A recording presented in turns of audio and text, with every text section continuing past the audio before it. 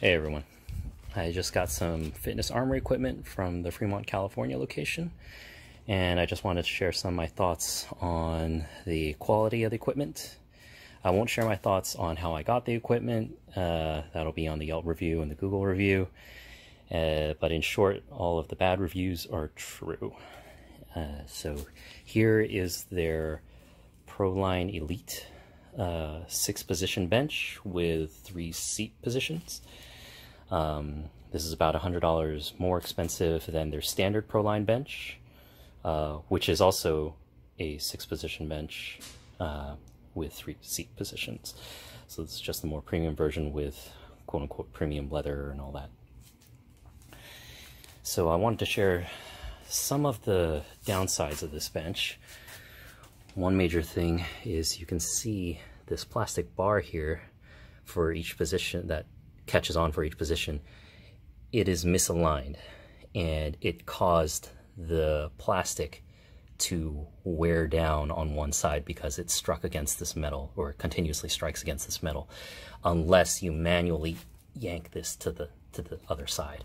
So as you can see, as I go up, and you can see it's quite a bit of damage already here already, and this is brand new.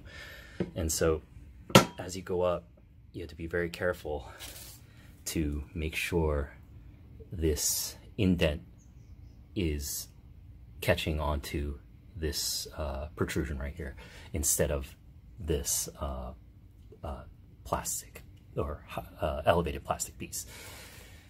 And so, as you can see, there's a bit, bit of wiggle room. And so for the higher rungs, you can probably uh, manually pull it or just manually be careful and prevent this from getting any worse. Uh, the only the only good side is that this is just a plastic piece. There's a metal bar inside, so hopefully this plastic piece is replaceable.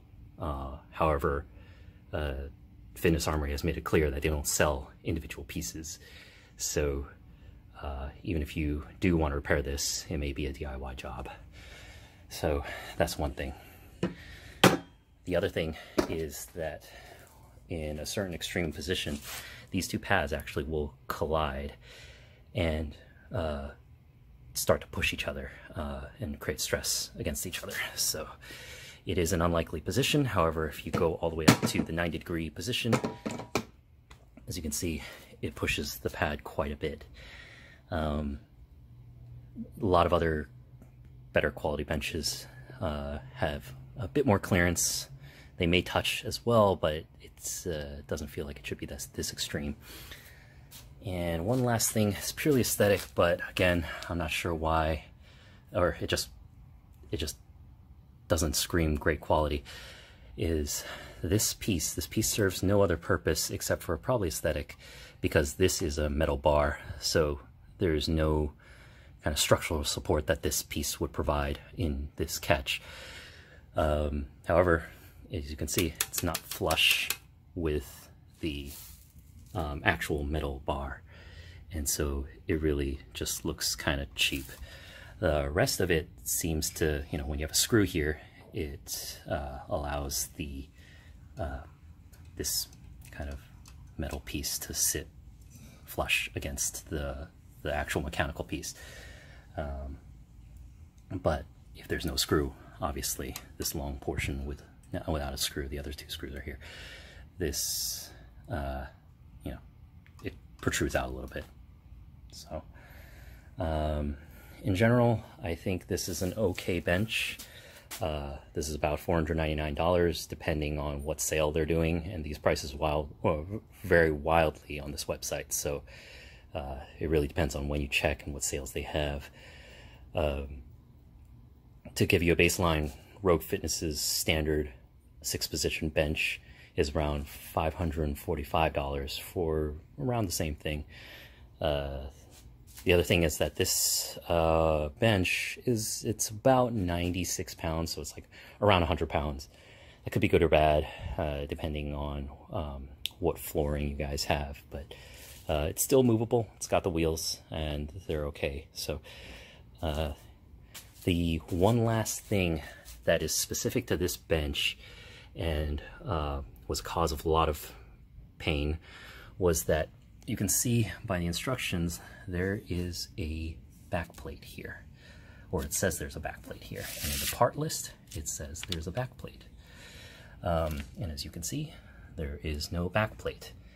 And that is apparently the way it's supposed to be. Uh, the manufacturer apparently just didn't update their uh, assembly instructions. I don't know how true that is. Uh, I have audio of that in another video uh, of the employee telling me from Fitness Armory telling me that this is just the way it is. Um, but yeah, just to be aware that when they tell you about the backplate, doesn't actually exist, or they said it doesn't actually exist. You guys can let me know um, if you find out more. This is just a continuation of the Fitness Armory equipment that I got. Uh, I'm going to just be quickly going over the barbell and the pair of dumbbells that I got. So I got a pair of 50s and I got a pair of 70s. And you can see these dumbbells are pretty pretty standard. Um, they're just hex rubber dumbbells. Um, one thing is that, uh, you know, if you treat these things well, they're going to last a while. If you don't treat them well, they're, you know, they're going to break. As you can see, this 50 already got bumped a little bit, um, probably some time in the warehouse. And so it does scrape. It's, it's not invincible. So you treat it well, it's going to do okay. But if you don't treat it well, you know, it's not going to last as long. Overall, dumbbells, uh, you know, they're just dumbbells. There's nothing fancy about them. So, uh, and as for how long they'll last, I can't say. I just got them. So, uh, yeah. The one thing I did want to note is that because of these sharp edges uh, and corners, uh, you can very easily bump uh, these corners and edges and uh, immediately it'll give the weight uh, kind of like a very used and broken kind of feel versus if something was slightly more rounded um, then a lot of these uh, bumps and stuff wouldn't show as as immediately. Um, as you can see, some of these corners have already been hit a little bit versus some of these corners are still quite sharp.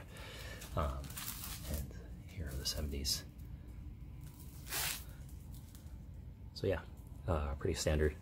Um, the barbell is one of their standard black zinc uh, uh, Olympic standard barbells. Uh, really, nothing special about it. Um, it's pretty much the exact same thing as Rogue Fitness's black zinc uh, Ohio Ohio bar, and in terms of price, it's about the same. So it's no cheaper, no more expensive.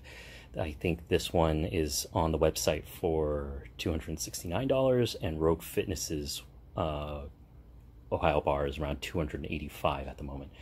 And Rogue Fitness's bar has always been 285. This bar has fluctuated in price quite a bit depending on, I guess, their supply. Um, as I said, standard bar, almost the same specs, uh, 190 kilo psi in strength, and uh, yeah, the rest of the specs are pretty much the exact same. So, uh, yep, that concludes my evaluation of this equipment. Thanks.